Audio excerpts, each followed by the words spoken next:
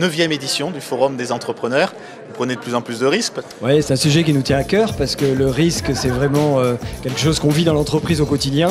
L'idée, c'est toujours pareil, c'est de brasser des idées différentes, de faire rencontrer des mondes différents. Dans notre activité comme dans d'autres, l'innovation est à la base de la réussite. C'est la clé de la réussite.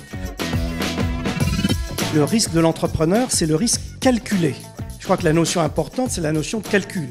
En économie, ce qui est important, c'est que dans le risque, il y a l'idée du risque probabilisable, du risque calculable.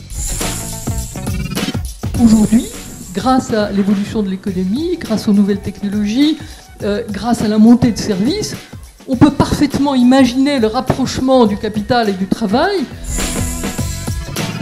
Je suis pour le risque, je suis pour la rémunération de risque, mais je suis pour qu'on voit les risques là où ils sont.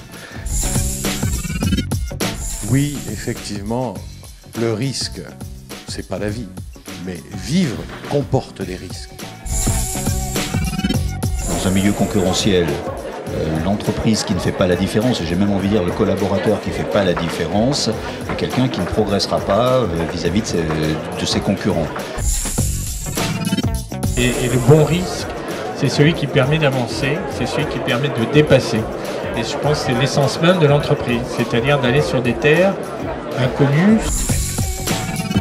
Euh, question directe, est-ce que quand on est comme ça un syndicaliste, on prend un risque à venir dans une réunion organisée par un MEDEF régional? Non, euh, on prend toujours le pari de l'intelligence et le pari de la loyauté. Le responsable politique, euh, le responsable public doit être amené à prendre des risques et en tout cas à dire sa vérité, avoir un rapport très concret avec la réalité de la vérité.